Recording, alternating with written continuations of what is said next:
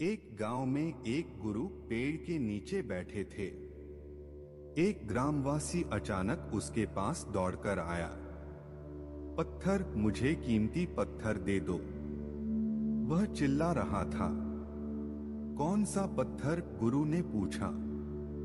कल रात आदमी ने कहा, मैंने अपने सपने में एक परी को देखा। उसने मुझसे कहा कि मुझे यहाँ एक गुरु मिलेगे। वह गुरु मुझे एक कीमती पत्थर देगा, जो मुझे अमीर बना देगा। गुरु ने अपने बैग में अपना हाथ डाला और कहा परी का शायद यही मतलब था। शायद आपके पास यह पत्थर हो। गाँव वाले ने देखा कि वह एक अमूल्य मुट्ठी के आकार का हीरा था। उसने उसे ध्यान से उठाया और घर ले गया। उस रात वह सो नहीं सका। और अगली सुबह वह जल्दी गुरु के पास गया। उसने हीरे को उसे लौटा दिया और कहा, गुरु, मैं इस पत्थर के बदले आपसे सीखना चाहता हूँ।